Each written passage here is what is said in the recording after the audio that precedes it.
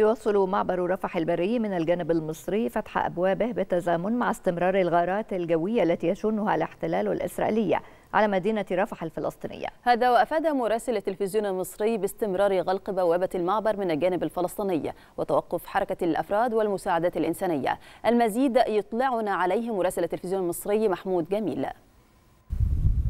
بعد التحية لازلنا نتابع معكم التطورات الجارية أمام بوابة معبر رفح البري. بالنسبة للجانب الآخر في مدينة رفح الفلسطينية لم تتغير الصورة كثيرا عن الأمس بل يستمر الاحتلال الإسرائيلي في شن الغارات الجوية وأيضا القصف المستمر على مدينة رفح الفلسطينية. وربما القصف اليوم توجه إلى الناحية الغربية من رفح الفلسطينية حيث المناطق السكنية هناك وتم قصف عدد من الأحياء السكنية وأدى ذلك إلى سقوط عدد من الجرحى والمصابين. أيضا في الناحية الشرقية كنا نسمع يعني دوي الانفجارات وأيضا تبادل إطلاق النار في هذه الناحية من قطاع غزة. وأيضا يعني لازال المعبر من الجانب الآخر من الجانب الفلسطيني مغلق أمام دخول المساعدات وأيضا حركة الأفراد. لكن نؤكد على أن بوابة معبر رفح من الجانب المصري لا زالت تعمل وهذه البوابة مفتوحة منذ صباح هذا اليوم. ونؤكد على أيضا تواجد كل الأطقم العاملة في المعبر سواء في مكتب الجمارك أو حتى الجوازات. يتواجدون بصفة مستمرة تحسبا